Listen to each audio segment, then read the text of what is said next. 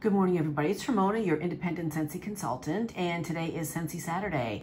Today we are talking about painted leaves. This was in the current Bring Back My Bar collection, and this was chosen by Joan, so thank you so much, Joan. Scentsy says that this is blue spruce, red maple, and golden woods. So I do know that my friend Joshua Flores, who has a channel here on YouTube, go check him out. He loves this. This is one of his favorite scents. I liked it. I did not love it. Um, to me, all I got was the blue spruce, a slightly, uh, astringent is the word that comes to mind, but spruce is kind of a sharp note. Um, and uh, I didn't really get any other wood notes. Like no, you know, red maple, I would anticipate to get a little bit of a maple note or, you know, some maybe amber from the Golden Woods or some other kind of warm notes, but I did not. I just kind of got that sharpness from the blue spruce. So, you know, again, I liked it. I, this, I, I feel like is in uh, the, fall category, but I would call it a Christmas tree scent. And I could be totally off base there, but that's what my nose is telling me, so I have to go with my nose. Um, this definitely was a Christmas tree scent to me. Yep.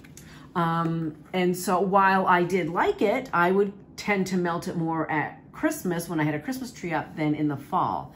So let me know what you think about that, what your nose uh, interpreted this to be, because as I said, I got Christmas tree. Now, the throw and strength are totally fine, seven and a half, eight, no problem at all.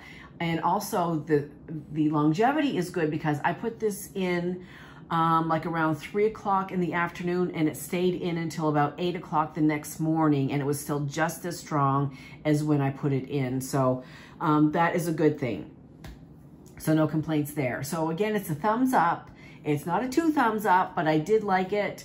Uh, I wish it had more of the other notes that were described in the scent description. So there you have it. Okay, next week our choices are going to be, and remember, the first one to come across my feed, that is the wax I will melt and review next week. Uh, okay, choices are Amber Hollow, Redwood and Cedar, Maui Mist, and Lavender and White Balsam. All right, so that wraps it up. I just want to remind everybody that uh, go to the menu under specials. There's a last chance tab. Go check that out.